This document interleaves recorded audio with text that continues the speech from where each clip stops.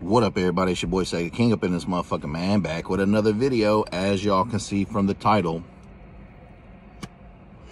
Trump wins. Okay.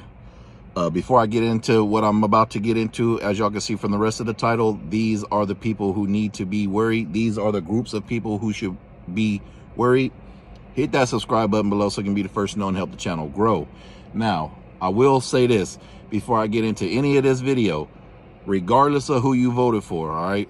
If you took the time to vote, salute to you because a lot of people, I took the time to vote. Even though I wasn't a fan of either candidate, I had to make the choice of the lesser of the two evils. Now, again, I salute everybody who took the time to vote because there's so many people online before and after the election that are going to complain about either candidate or about either result and they didn't take the time to vote. I don't want to hear y'all. You feel me? Uh, like y'all got the freedom of speech, yes, but I don't want to hear y'all. If you didn't take the time to vote, you, like your opinion is is void to me. You know what I'm saying? You're just gonna have to deal with whatever you don't like because a non-vote is a vote for whoever you don't like to me personally.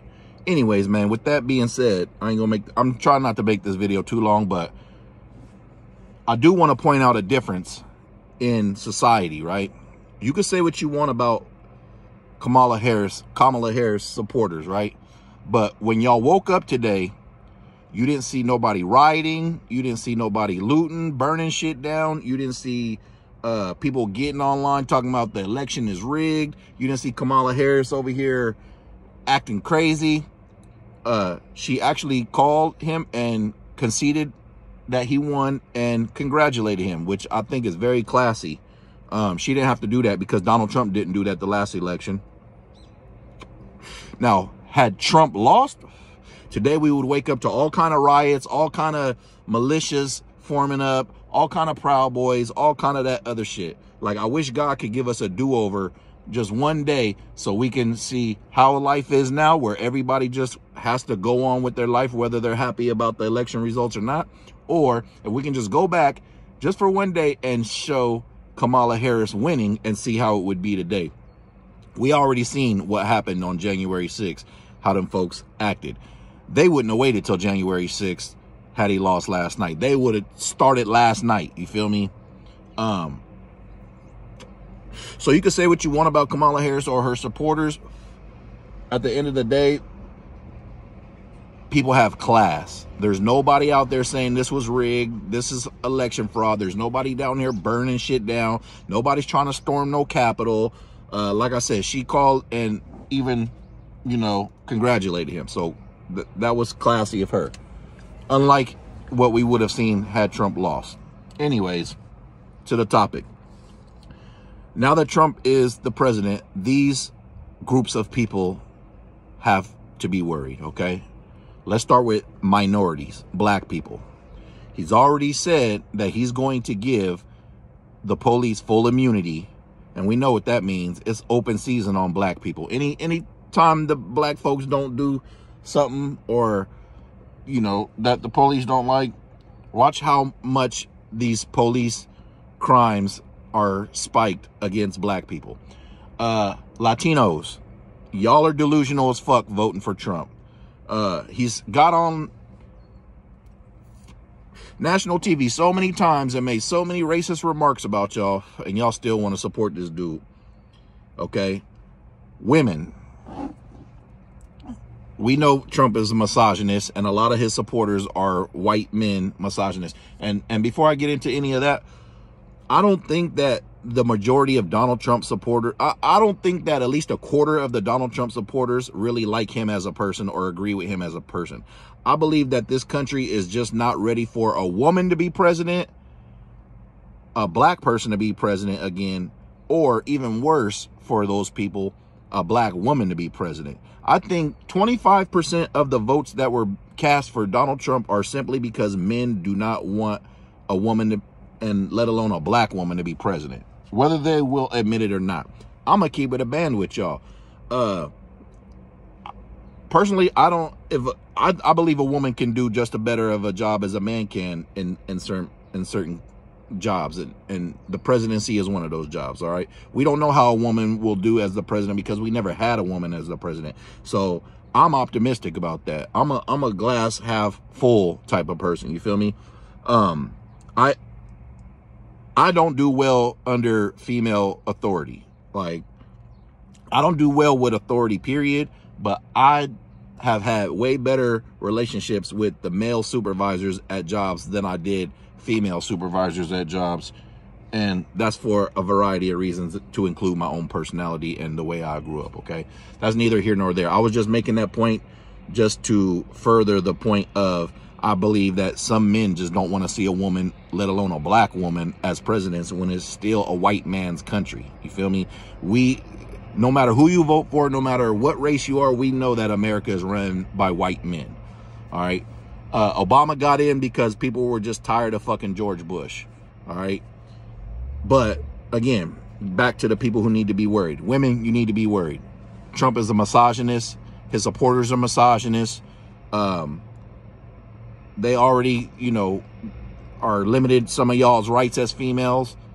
The list can go on. So we got minorities, blacks, and Latinos, especially, even Asians. We ain't gonna forget Trump was uh blowing racist ass dog whistles during COVID.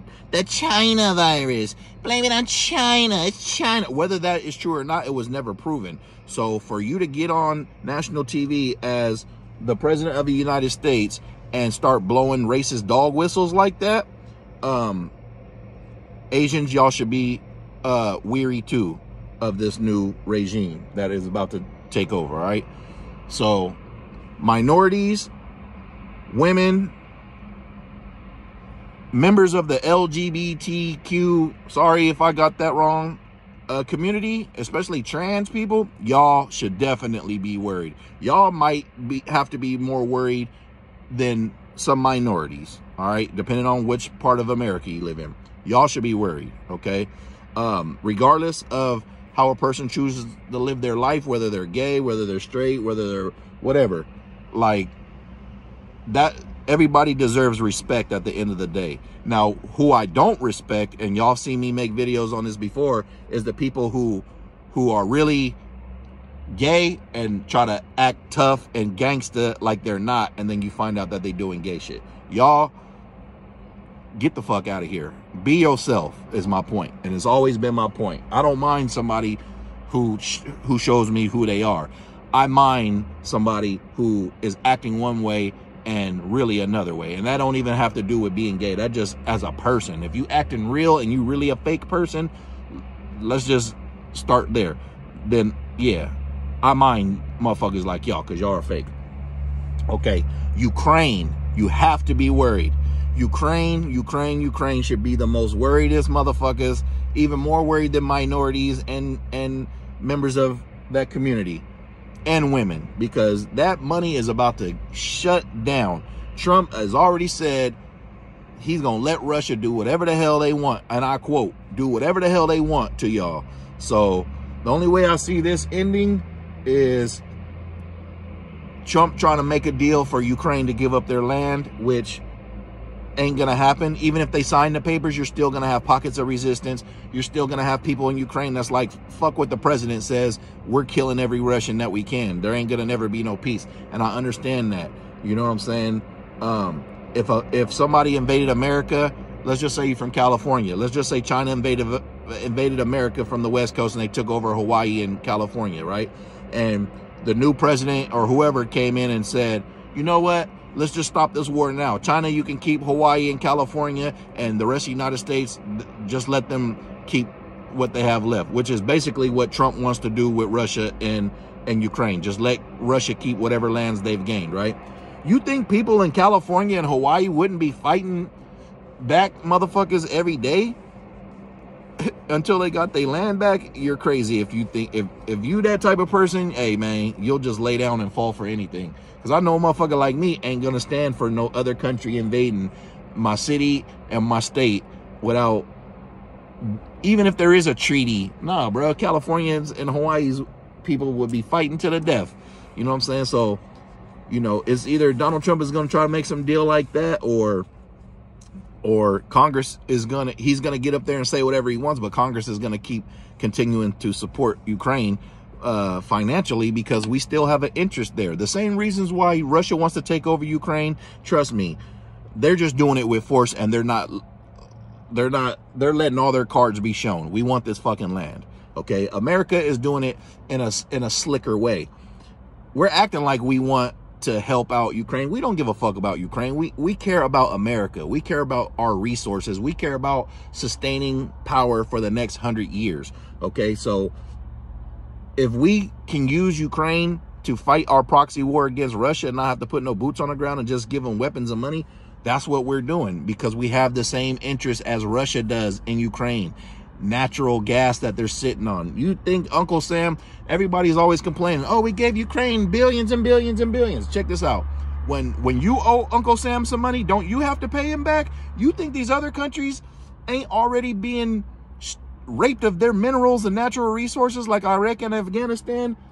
Even though we don't see that in our pockets, our country still thrives and we're able to sleep better at night because we took shit from other countries my point is, is that, you know, we have the same interest in Ukraine as Russia does. We just trying to guise it as a diplomatic thing, like we're helping some people. But really, we don't give a fuck about what happens to Ukraine. We just care about their natural gas. At least Russia's keeping it real and like, fuck, we ain't gonna try to sugarcoat this shit. We taking over. It. All right. So Ukraine got to worry. Um, Taiwan should be on alert. Taiwan, you need to be on alert. Uh, and with that being said, Taiwan, the Philippines, uh, Japan, Korea, all y'all need to be on alert as well because once Taiwan is attacked, America, you know, Donald Trump can get on, get up there and say whatever he want. Congress, the House of Representatives, you know, all these other bodies of legislature in America are going to have the final say. The president doesn't have the final say on every fucking thing. Um, and Taiwan is the most important country, like I told y'all in other videos when I went there, because they have the most unique semiconductors. Now, Trump could make a deal with China and just say, hey, take that shit back over and cut us in on the semiconductor deals. And who's going to be next? The Philippines? You know what I'm saying? China's already showing aggression with them. Japan, you know what I mean? They right next door. What's stopping China from invading Japan next? Korea? Uh, North Korea been waiting to push the button on South Korea, you know, so I think Taiwan should be not in as much worry as Ukraine, but very on alert. Uh, as far as Israel and Gaza, that shit's going to continue to go on. Uh, our, our country, America is going to continue to fund both because we need chaos and unsustainability in the world for us to thrive too. That's how Boeing, that's how Lockheed Martin, that's how Halliburton, that's how uh, Blackstone, BlackRock, all these all these companies that y'all can look up, that's how they stay in having so much money and power and they're ran by these rich ass families because without war their production stops. If their production stops, jobs are lost. So we like regardless of how America wants to portray themselves, we don't want world peace, bro. We don't want world peace because that's going to cut off so many jobs in America.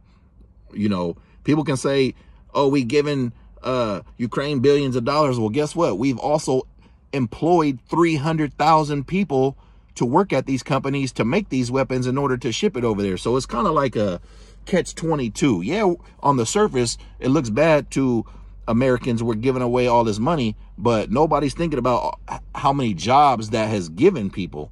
You know, if you find those people that have those jobs, they'll tell you, no, we need to keep this going because, in other words, we're out of a job. If motherfuckers stop eating McDonald's and just only ate fucking Taco Bell every day, like, all them employees would have to go find a new job or get fired. You know what I'm saying? If Taco or if if McDonald's ain't gonna figure out no way to keep burgers a thing. Just like if America don't find a way to keep, you know, unsustainability a thing in the world, whether it's Gaza, Ukraine, Africa somewhere, like we need wars to happen in order for a lot of jobs in America to sustain. It sounds fucked up, but that's just the way that capitalism works, all right?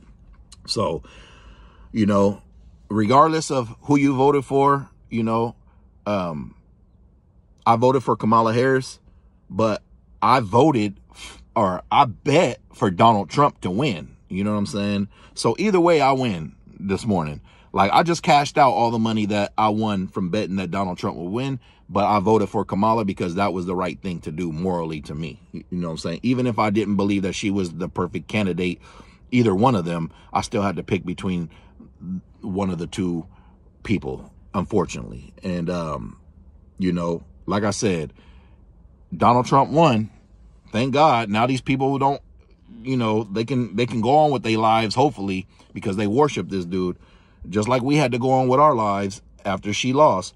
But I'm telling y'all now, and we can revisit this uh, because it's not going to be long once he takes power that he's going to flex his power and we're going to be reminded why we didn't want to fuck with him in the first place, right? It's kind of like, I'll, I'll end it with this. It's kind of like, it's kind of like you would, you, you got a boyfriend or a girlfriend, right?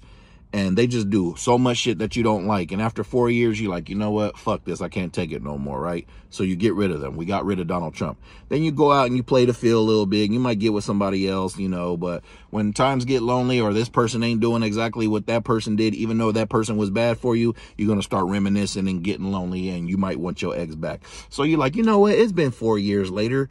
Uh, you know, maybe this person has changed, you know, and, and I'm going to give Donald Trump the benefit of the doubt that hopefully he's a changed person and he learned from his last time, but I doubt it. Like once somebody shows you who they are, you got to believe them, which will prove my point here in a second. So you get back with this ex-girlfriend four years later, right? After you played the field or had a girlfriend or boyfriend or two, you know what I'm saying? Depending on which, which, uh, gender you are, maybe you like them both. Who knows? You know what I'm saying? And then the first you know, let's say you was with a combative person and you broke up with the bitch or the dude because they was combative, all right? Then y'all get back together four years later, everything's going good. And the first argument you get into, they smack the fuck out of you and you're reminded why I didn't want to be with this person. My point is, is, is not going to be long before we are reminded by actions or words or both why we chose to get rid of Donald Trump in the first place. And people have, have just been so delusional and brainwashed for the last four years, you know, or just so uh, disgruntled with the party that they're willing to take on somebody who we got rid of. You feel me?